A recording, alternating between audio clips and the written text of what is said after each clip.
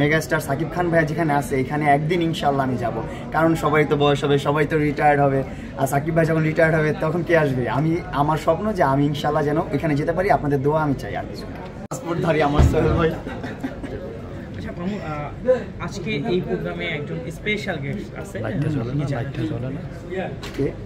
আপনি বলেন তো স্পেশাল সাকিব খান উনি তো মেগা স্টার ওনার ওনার শো এটা উনি না থাকলে কে থাকবে? ওনার জন্যই তো আমরা আছি। আসলে সাকিব ভাইয়ের ছবি দেখা হয় কিংবা অবশ্যই ভাইয়ের দেখাবো না কেন? উনি আমাদের বাংলাদেশের গর্ব উনি বাংলাদেশের মেগা স্টার ওনার উপর তো আর কিছু নাই।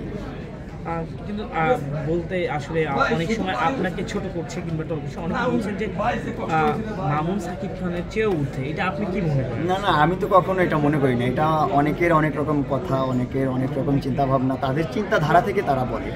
কিন্তু আমি কখনো তার উপরে মনে করি না নিজেকে। আমি অলওয়েজ চেষ্টা করি যে তা সে যেখানে আছে এখানে যাওয়ার। আমি আমার এটা আমার স্বপ্ন যে মেগাস্টার মেগাস্টার সাকিব খান ভাইয়া যেখানে আছে এখানে একদিন ইনশাল্লাহ আমি যাব। কারণ সবাই তো বয়স হবে সবাই তো রিটায়ার্ড হবে।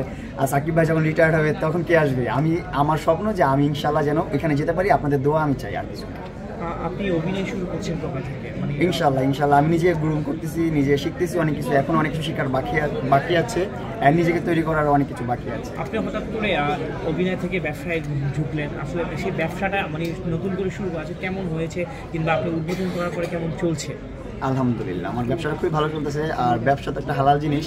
এটা আমাদের ধর্ম অনেক সাপোর্ট করে ব্যবসা প্রতিষ্ঠান এটা। তো ব্যবসা প্রতিষ্ঠানটা ভালোই চলতেছে অ্যান্ড আপনারা দোয়া রাখবেন যেন আরও ভালো চলে। আপনারা সবাই চলে আসবেন আমার প্রিন্স কার্ড সেলুনে বসুন্ধরা রোডে যমুনা ফিউচার পার্কের অপোজিটে মামুন আসলে আপনার এই বিজনেসের পিছনে অবদানটা কি? আমার এই বিজনেসের পিছিয়ে পুরো অবদান হচ্ছে আমার মাসুদ ভাইয়া যিনি হচ্ছে বাংলাদেশের একমাত্র বিউটি এক্সপার্ট আমার কাছে আমি যাকে বলি অলওয়েজ তাকে অন- সবসময় সম্মান করি বড় ভাই হিসেবে। উনি সব অবদান এই বিজনেসের পিছনে। রিয়াজ ভাই। ভাই প্রশ্ন করেন। সাকিব খানকে টেক্কা দিতে নাকি মামুন সামনে নতুন পরিকল্পনা? না না না এরকম এত দুঃসাহস আমার হয় নাই যে আমাদের মেগা স্টারকে ট্যাগটা আমি দিব।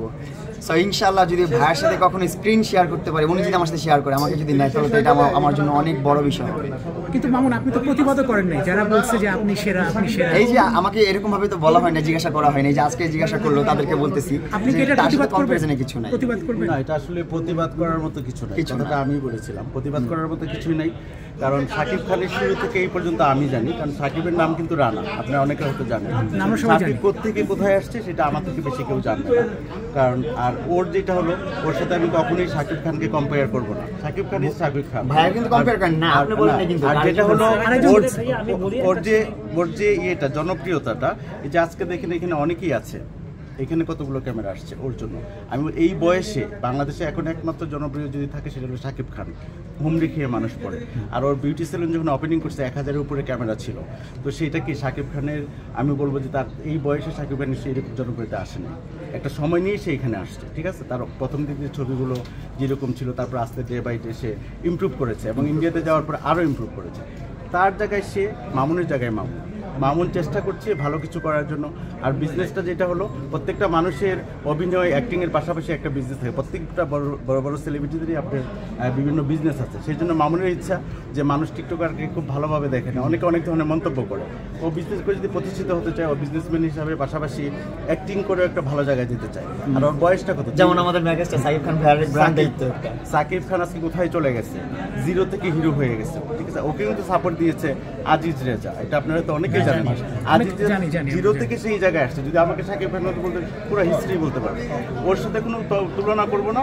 অনেক কষ্ট করে আজকে মেগা স্টার হয়েছে এবং একটা ভালো জায়গায় চলে তাকে অবশ্যই রেসপেক্ট এবং তার কথাও বলব যে সবাই দোয়া করুন ও যেন একটা ভালো জায়গায় যেতে পারে। হ্যাঁ জি। থ্যাংক ইউ যে আপনাকে নিয়ে আলোচনা ওইদিকে যাব? আচ্ছা ওই হালেনের সামনে যে আমরা